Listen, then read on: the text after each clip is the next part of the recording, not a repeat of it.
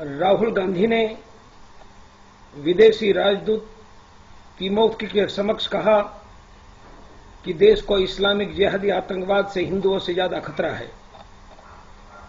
विदेशी राजदूत के समक्ष ये बात कह के राहुल गांधी ने न सिर्फ़ हिंदुओं का, पर देश का अपमान किया है।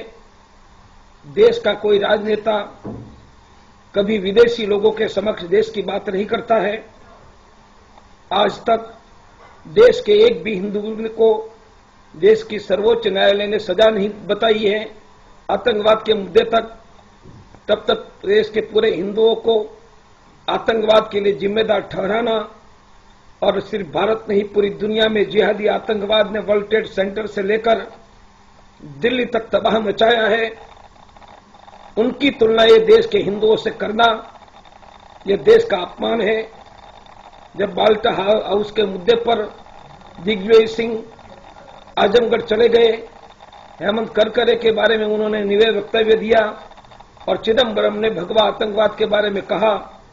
तब लग रहा था कि कुछ लोग बोल रहे हैं।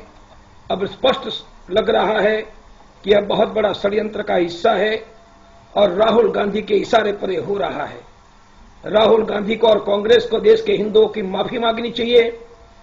या देश के हिंदुओं को यह तय करना चाहिए कि देश में फिर से जिहादियों को बचाकर हिंदुओं को अपमानित करने वाली कोई मुस्लिम लीग खड़ी हो रही है।